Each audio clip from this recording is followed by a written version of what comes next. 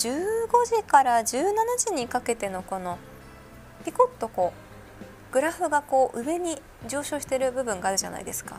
ここで飛びやすくなっていたことが分かりますね。このように観測データも使ってみることができますので十分お気をつけください。火の山のピークってきました？今。見てましたからね。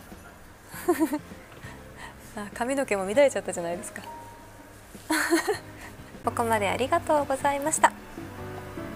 それではひととき素敵なひとときをお過ごしください。